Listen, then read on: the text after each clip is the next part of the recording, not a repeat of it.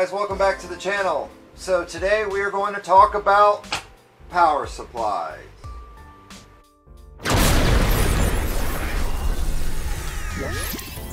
So I have a couple of power supplies with me today alright and the one that we are going to take apart is this one right here.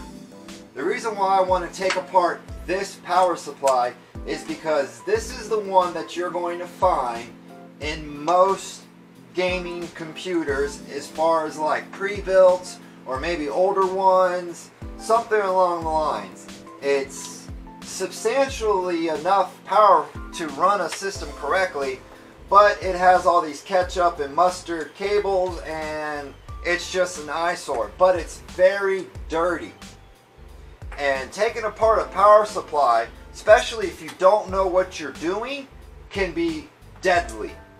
If a power supply, believe it or not, even when your power supply is disconnected, unplugged from the wall, sitting on the shelf for a year, there are still capacitors and other components inside of this power supply that can still hold a charge and still blow up and kill you.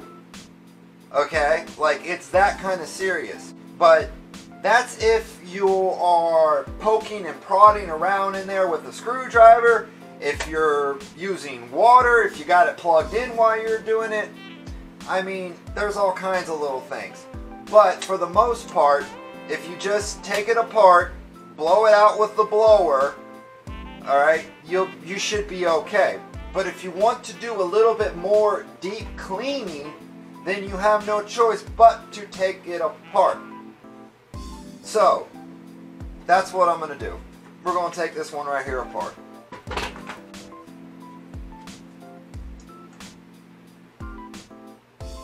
Okay, so there are a couple of tools that you guys are going to need. First thing you're going to need is gloves.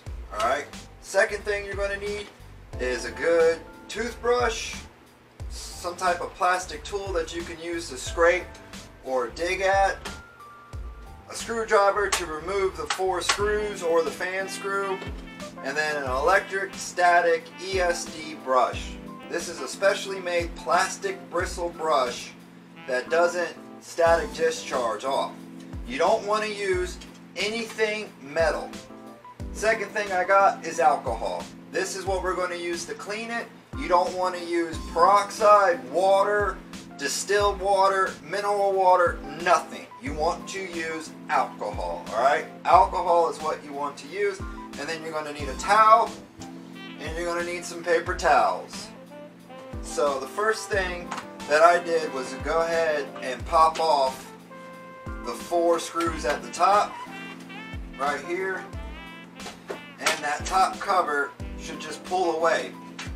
But be careful when you pull this top cover away because it may be attached to the fan. Alright, when you look inside of a power supply, you're going to see a couple of things. You're going to notice these big capacitors, uh, different types of alternators and generators, and just all kinds of different things going on.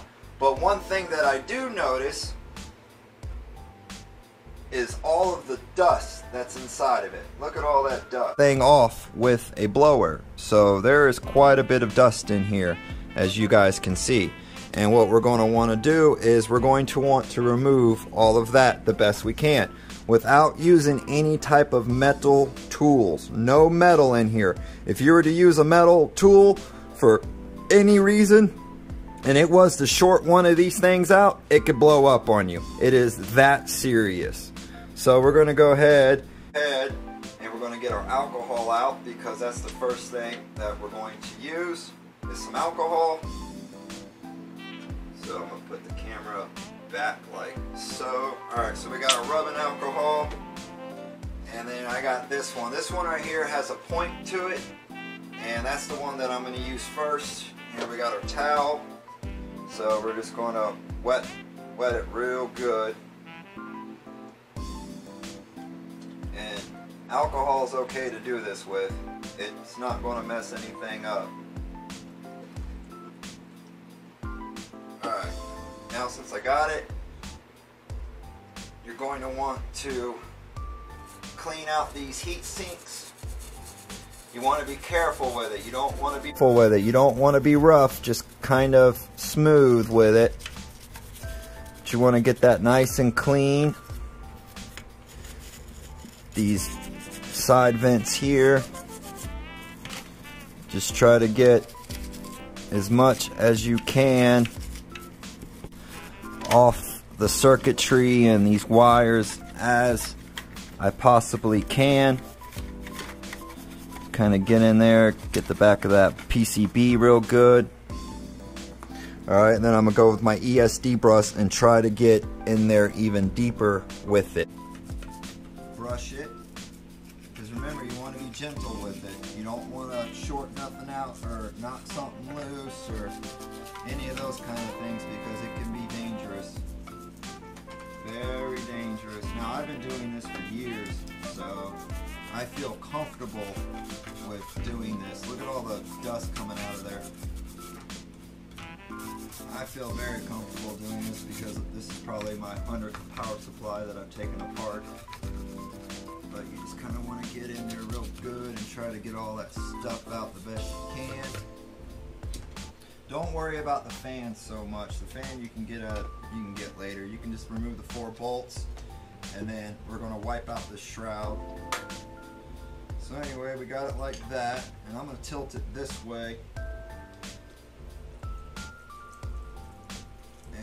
rub alcohol in there and try to flush out any of that dirt and grime. Alright, so I'm just going to set it like that. Use my paper towel. And try to soak up some of that alcohol in there. And maybe kind of wipe down anything that I was touching so move the fan screws if you want to you can use a leaf blower, alright? You don't want to use compressed air out of an air, like an air tank or a compressor, because there's moisture in those lines, and that moisture can end up on your components. So I use a leaf blower because it's plenty of air and there's no moisture in it. So that works great. And then okay.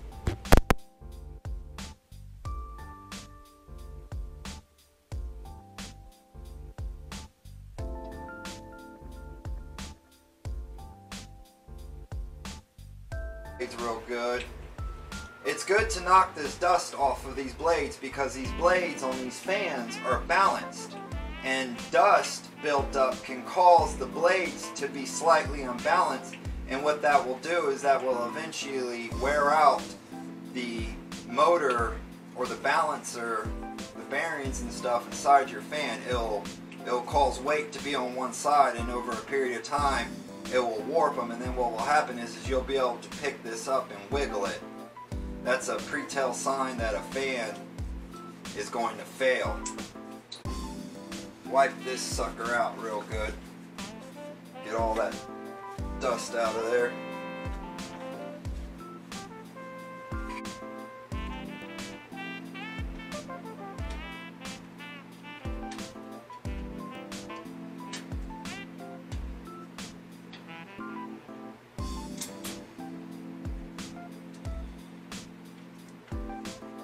So, after you got your fan, okay, after you get your fan and your fan grill reattached, all you need to do is put the cover back on. Alright, and you want to do it very carefully. Do not force it. If you feel like it's not just sliding on, like something is in the way, or it's catching somewhere, don't force it. Just put it in try to play with it. See if, if where you're putting it at is wrong or right. Okay, so it goes like that. Alright. Alright guys, so that's it.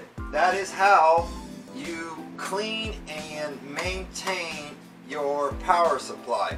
Real simple and easy. I hope you guys learned something from this and I, I hope that y'all, you know, see that it was it was quite easy. You know, it's if you know what you're doing and how to do it, then you should be okay. And then with your cables, right? Like your cables can get all dusty and just as dirty.